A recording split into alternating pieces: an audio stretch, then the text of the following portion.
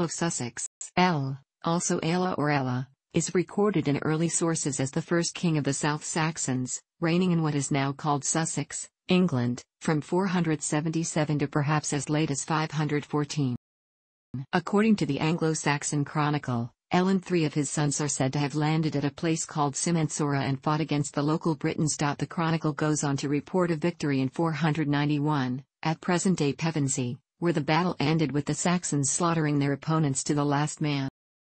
Ælle was the first king recorded by the 8th century chronicler Bede to have held imperium, or overlordship, over other Anglo-Saxon kingdoms. In the late 9th century Anglo-Saxon chronicle, around 400 years after his time, Ælle is recorded as being the first Bretwalda, or Britain ruler, though there is no evidence that this was a contemporary title.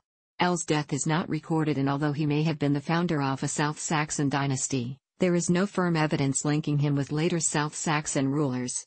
The 12th century chronicler Henry of Huntingdon produced an enhanced version of the Anglo-Saxon chronicle that included 514 as the date of Ælle's death, but this is not secure.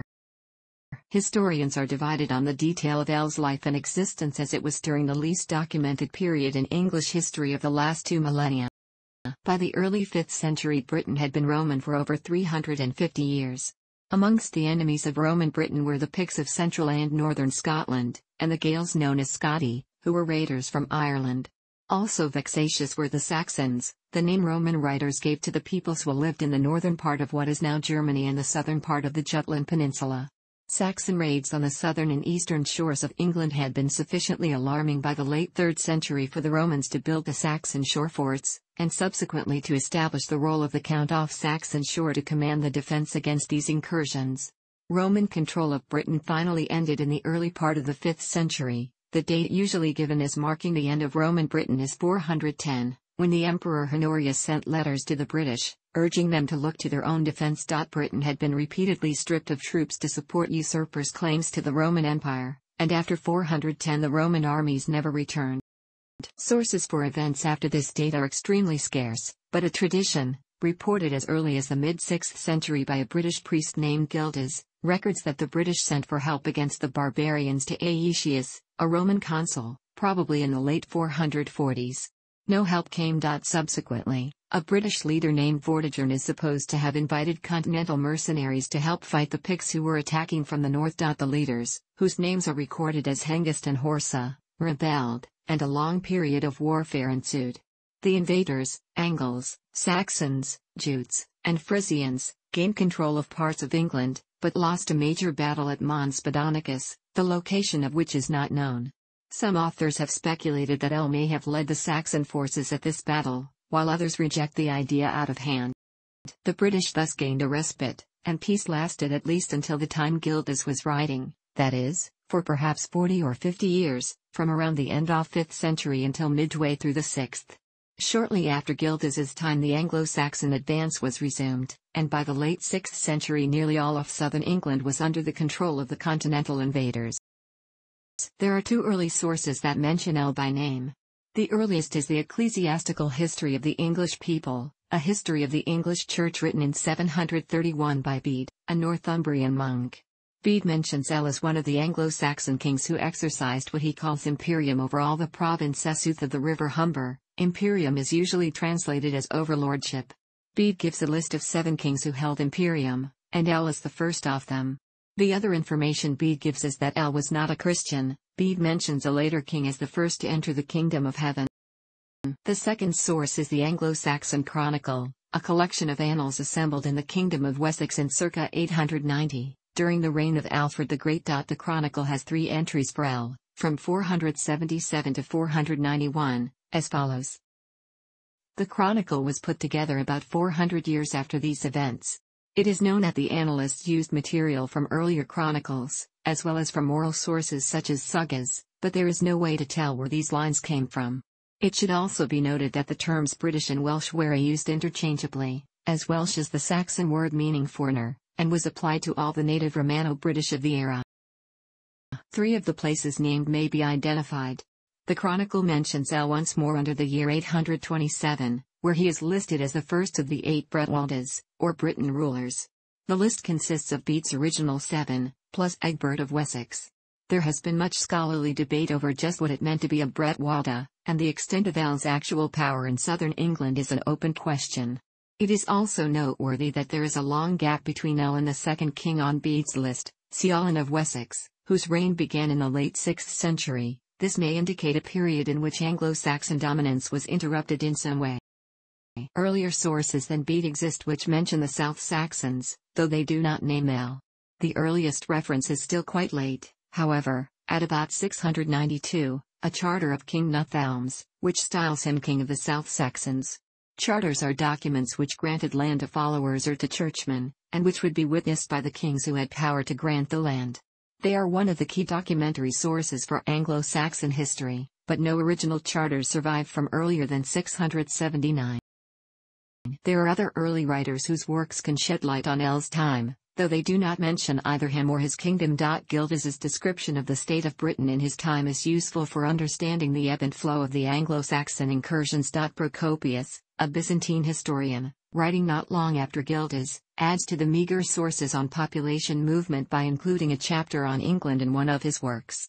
He records that the peoples of Britain, he names the English, the British, and the Frisians, were so numerous that they were migrating to the kingdom of the Franks in great numbers every year, although this is probably a reference to Britons emigrating to Armorica to escape the Anglo-Saxons. They subsequently gave their name to the area they settled as Brittany, or La Petite Bretagne, lit. Little Britain. The early dates given in the Anglo-Saxon Chronicle for the colonization of Sussex are supported by an analysis of the place names of the region. The strongest evidence comes from place names that end in ing, such as Worthing and Angmering. These are known to derive from an earlier form Indintian Ingas.